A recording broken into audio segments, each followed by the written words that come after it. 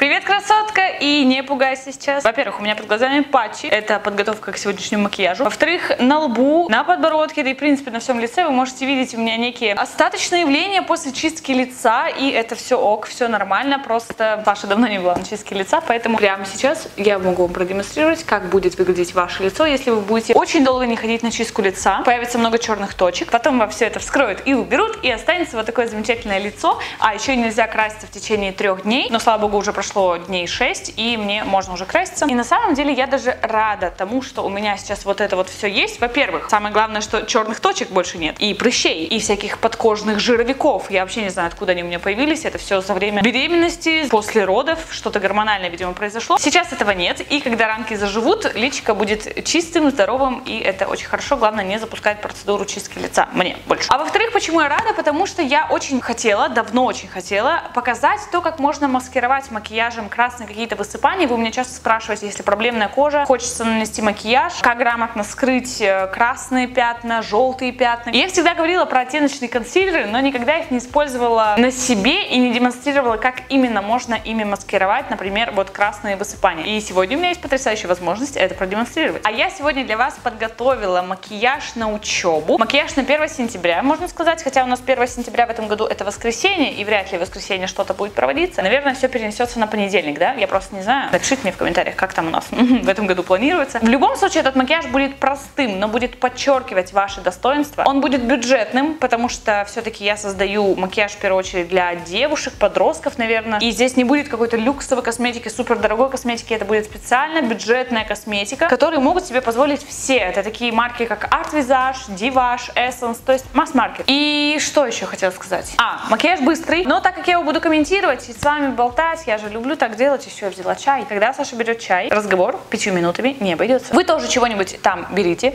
попить, поесть, как хотите. У меня патчи заканчивают свою работу, это хорошо, хоть что-то с моим лицом уходовое мы сделали. Кстати, патчи эти из моей бьюти-сумочки, которую вы до сих пор можете приобрести. И не только приобрести, но еще и получить очень приятные такие бонусы. Дело в том, что если вы закажете мою бьюти-сумочку прямо сейчас, указав один из промокодов, то вы получите очень приятный бьюти-дуэт от э, марки, отечественной марки нашей Фловера. Это российское производство, и если вы укажете промокод бонус плюс, то вы получите дуэт из блеска краска для губ и туши для ресниц. Просто так, бесплатно, абсолютно. Просто они положатся вам автоматически в вашу посылочку. Если же вы укажете промокод бонус плюс. Девочки, тут произошла небольшая оговорочка. Второй промокод не бонус плюс, а супер плюс а первый промокод был бонус плюс, то вы получите дуэт из теней от той же марки и блеска для губ. На всякий случай все это продублирую в описании, так что, красотки, переходите, заказывайте. Ну а мы приступаем к макияжу. Я снимаю такие свои патчи. Да, очень здорово, конечно, никогда у меня такого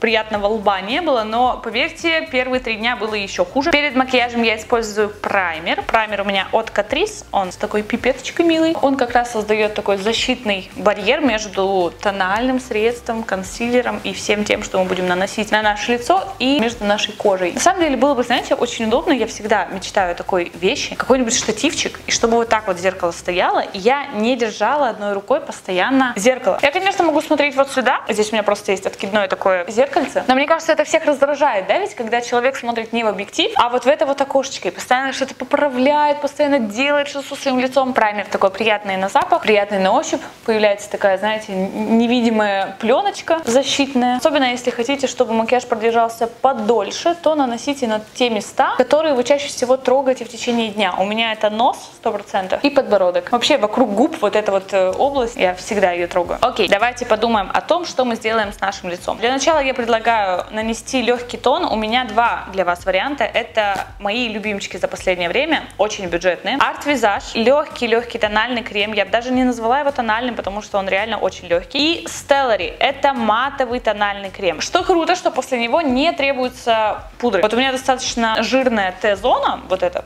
вот, вот это. После этого тонального мне не нужно было подправлять свой макияж пудрой, но перед тем, как нанести их на свое лицо, я, конечно же, должна что-то сделать вот с этой частью, с этой частью, ну, короче, везде, где у меня красные какие-то высыпания, их нужно подкорректировать. Если у вас открытые прыщи, вот прямо, знаете, вы чувствуете, что... Почему ты не открываешься? Если вы чувствуете, что в прыще какая-то инфекция есть, то есть там что-то прям такое, знаете, не засохшая ранка, а вот назревающий прыщ, то не надо его вообще лишний раз трогать. Я замазываю то, что уже зажило, то, что уже просто имеет имеет цвет. Итак, у меня палетка от Divage. Она вот с такими корректирующими цветами. Вообще она создана для того, чтобы делать и контуринг, и замазывать несовершенство. И я зеленым оттенком. Почему зеленый? Потому что зеленый нейтрализует красный, красный нейтрализует зеленый. Я зеленым оттеночком прохожусь по своим красным высыпаниям. Не прямо можно сказать, что очень сильно. А, я забыла сказать, я сегодня с вами сделаю прическу еще. Прическу, о которой вы почему-то очень меня много спрашиваете в последнее время в моем инстаграм. Она на самом деле очень простая, опять же. Вот вы видите, что уже в принципе красного цвета, ну,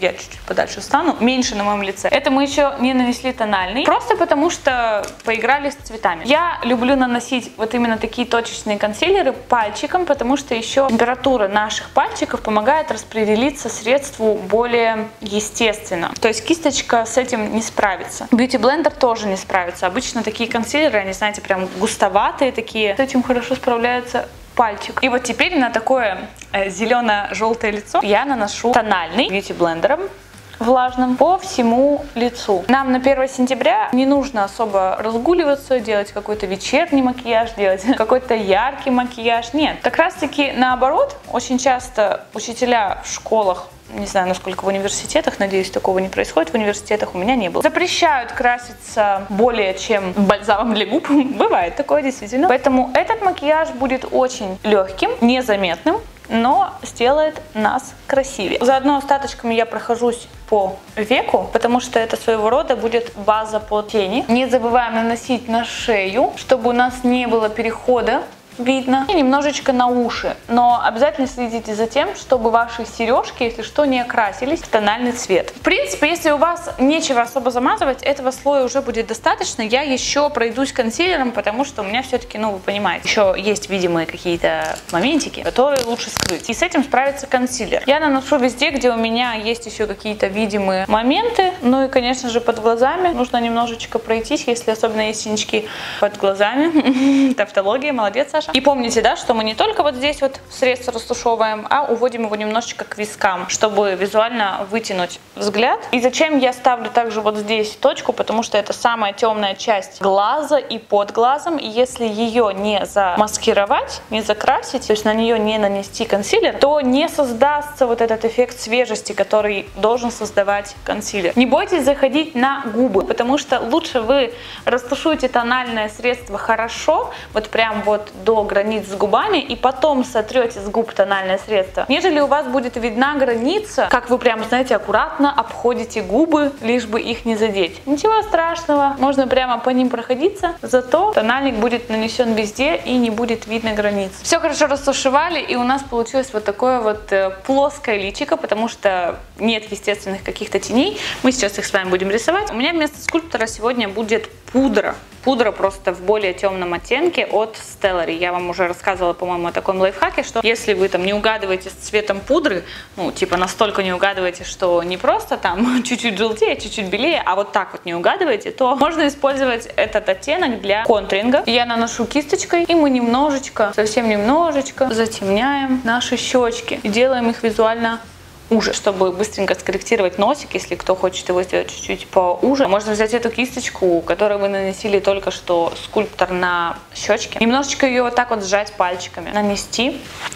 Немножечко сдуть, потому что много средств не нужно на носик наносить. И вот так буквально с одного бока и с другого бока. И коррекция носика завершена. Остатками корректирующего средства можно пройтись по контуру лица, затемнить немножечко зону вот эту, и по овалу лица. Следующий очень важный пункт, один из самых важных в основе вообще, мне кажется, лица, это румяна. Румяна придают макияжу такую свежесть, легкость, юность. Ну, мы и так юны, конечно, но иногда этого не видно без румян. И чтобы румянец смотрелся гармонично, как будто это действительно наш природный румянец, а не компактная пудра NARS например, как в моем случае, немножечко остатками от кисточки проходимся везде. И у носика, и в складке века, но это прям должны быть остаточки, да, и на подбородке, на носике, чтобы свежесть кожи передавалась не только щечками, а всем лицом. Отличненько. Переходим к, наверное, глазам. Уже пора. Можно, кстати, нанести бальзам для губ, потому что я сегодня буду наносить помаду. И вот чтобы к моменту нанесения помады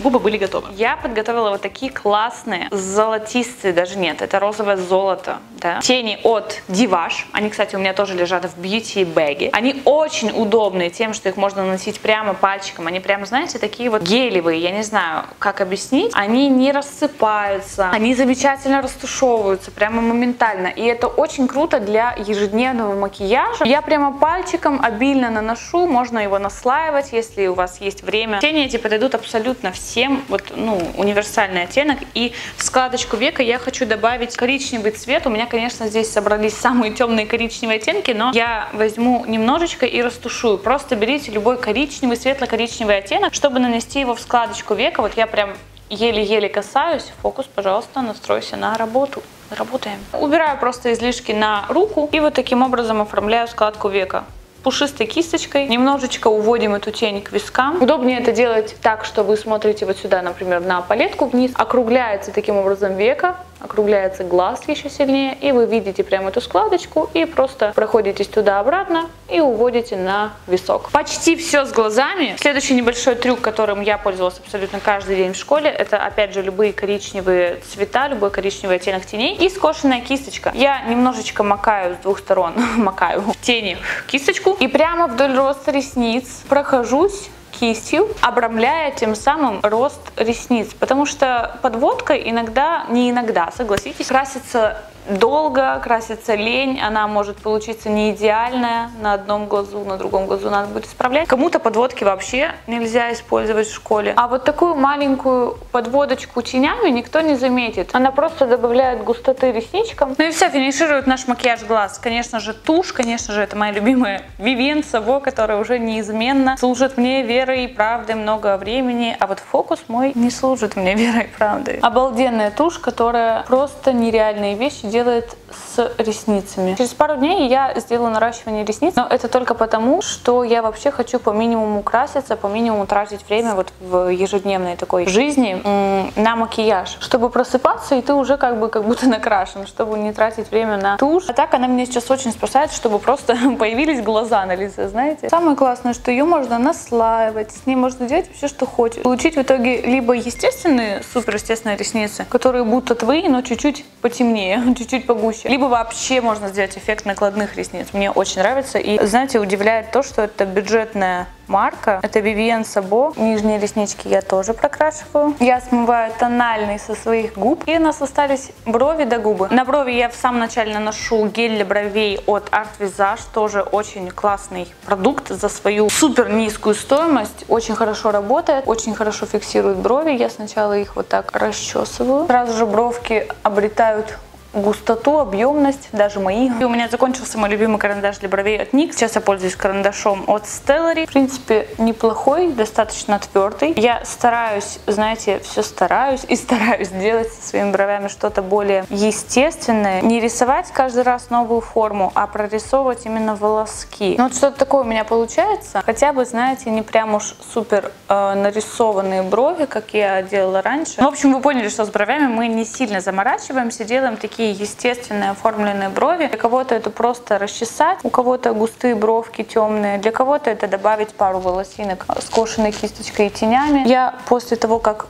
нанесла карандаш, еще раз прохожусь гелем он еще более объемно так укладывает бровки и в принципе достаточно. У нас остались только губы и у меня два варианта для вас. Я предлагаю сделать что-то более нюдовое, более естественное. Либо вот такой оттенок, либо вот такой. Я даже больше склоняюсь именно к такому, более светлому. Это у меня Maybelline 983. Это такая нюдовая кремовая помада, которую можно легко подправлять в течение дня. Она очень хорошо гармонирует с нашими румянами сегодняшними. Я не вырисовываю четкий контур, я просто пальчиком заполняю губы, чтобы все смотрелось очень естественно, можно даже где-то выйти за контур немножко, где-то не дойти до контура. И в итоге получается такой вот естественный эффект. Если хотите, можно нанести хайлайтер. Я не знаю по какой причине. Видимо, я использовала кисточку, на которой был хайлайтер. И когда наносила румяна, нанесла еще и хайлайтер себе на щеки. Молодец. На самом деле макияж, вот я долго болтала, вы понимаете, да, что макияж на самом деле не такой долгий, не сложный абсолютно. Мы просто подчеркнули наши достоинства, немного подкорректировали форму лица, добавили румянца, добавили глаз глазок. Самое главное для меня сейчас, мы замазали вот эту вот зону, и в принципе везде, где у меня последствия моей чистки лица, этого не особо видно. Если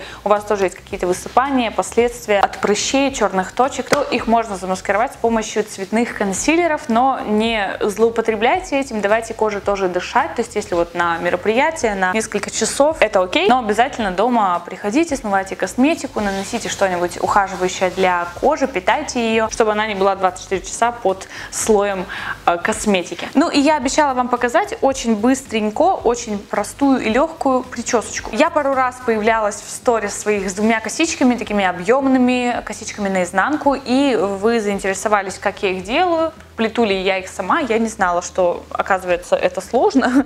я всегда плела себе косички сама и хочу вам показать, как легко на самом деле это сделать. В принципе, кроме расчески и двух резинок, нам не понадобится больше ничего. У меня резинки вот такие, силиконовые, незаметные, маленькие. Почему-то я люблю, когда резинок вообще почти не видно. А, ну еще понадобится какая-нибудь палочка, какая-нибудь вот такая вот штучка, это просто у меня кисточка, чтобы сделать прямой пробор. Если мы хотим, конечно, прямой пробор. Над носом примерно я делю голову, делю волосы точнее, и прохожусь до затылка. Вот это просто одно движение, на самом деле вообще не сложно. Конечно, это может быть не супер ровно, прям одну часть э, волос, половину получается, я забираю в хвостик, чтобы она не мешала. Вторую часть расчесываю. Эта прическа здорово тем, что волосы, во-первых, убраны, вы их постоянно не трогаете. А еще здорово, что для этой прически не нужно не выпрямлять, не завивать волосы. Вот просто помыли чистые волосы и поехали. Я беру прядку от начала головы, делю ее примерно, все примерно пальчиками на три части и начинаю плести как будто обычную косичку,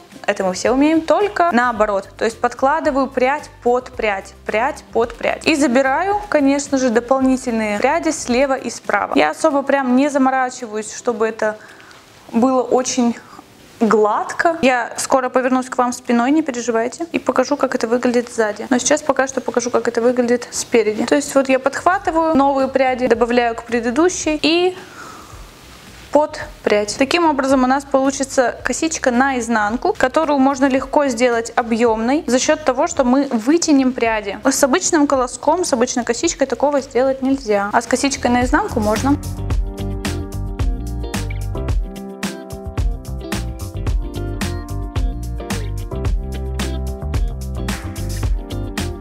Закрепляю резинкой, и сейчас у нас получается такая немножечко лысая косичка, не объемная, но все в наших руках. Во-первых, вот отсюда можно достать таким образом пушок, волоски, которые добавят прически такой небрежности, что ли. Ну и, конечно же, вытягиваем прядки вот таким вот образом. Не нужно вытягивать прямо сильно широко, то есть вот такой вот объем создали и достаточно. То же самое повторяем. То же самое делаем с этой частью волос.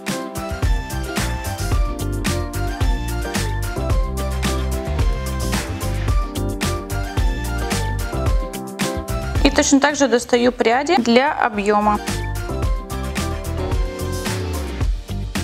Ваша ученица Сашка готова.